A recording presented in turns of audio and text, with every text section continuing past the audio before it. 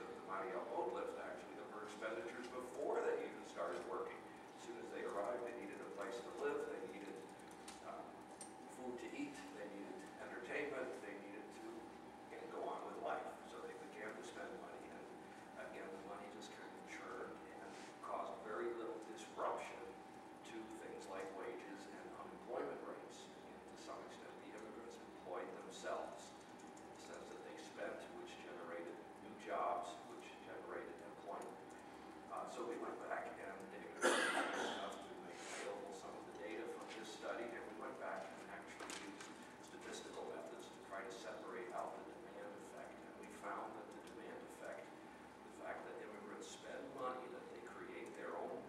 demand for labor, uh, explains much of the, no of the lack of movement in the unemployment rate and the wage rate. Other studies also large inflows of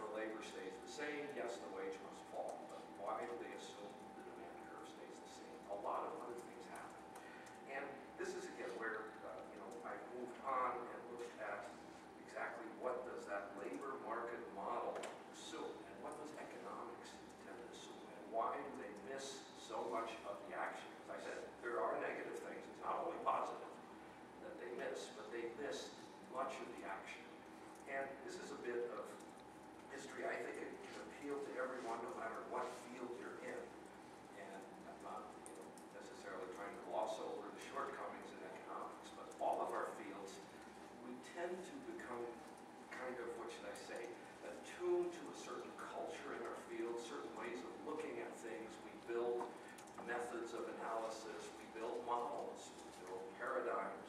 that we begin to look at the world through.